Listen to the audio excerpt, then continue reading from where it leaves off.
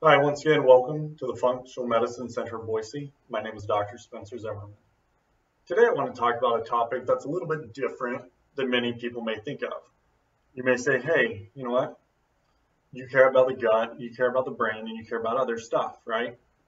But why should we care about the mouth, right? You're not a dentist, you're not an orthodontist, you don't deal with cleaning people's teeth, doing cavities, or anything like that but the mouth and the bacteria that live there and that ecosystem is actually a crucial part of your health.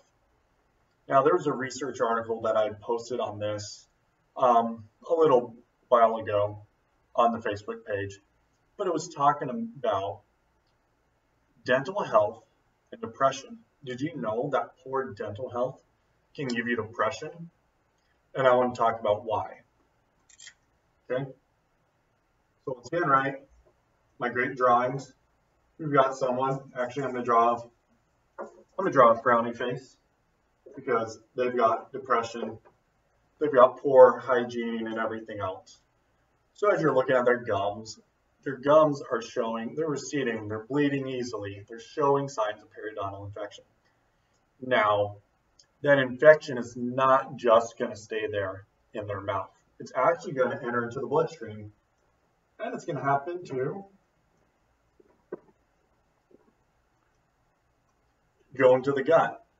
So now before we talk about depression, um, there are people who have what's called small intestinal bacterial overgrowth. This is what happens when bacteria enter into the small intestine.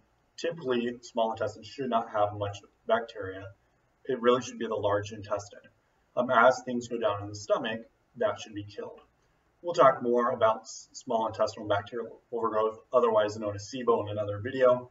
But for right now, um, due to whatever reasons, now with depression, for example, or else with this, let's say your stomach acid is not what it should be, and so instead of it killing the bacteria the way it should, now comes down here into your gut, and that ends up creating inflammation. Okay? Once again, inflammation within the body equals brain inflammation.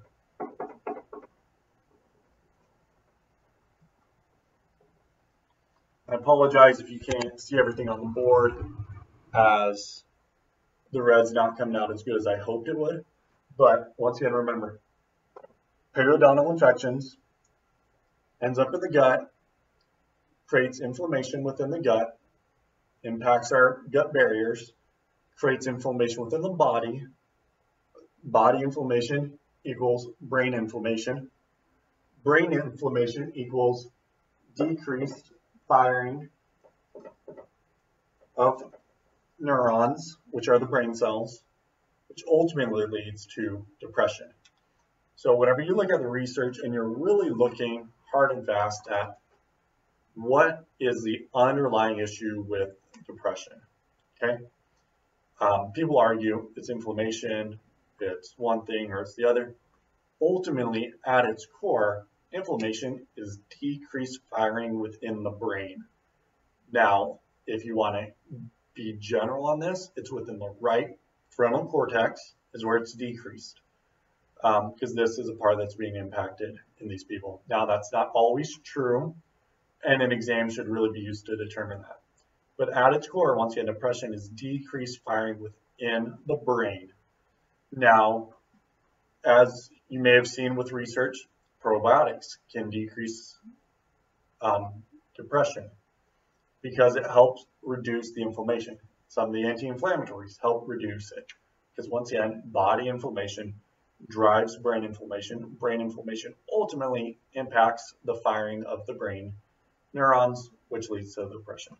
If there's any topics you'd like me to cover in a future video, feel free to comment and I'll try to make those videos as I can.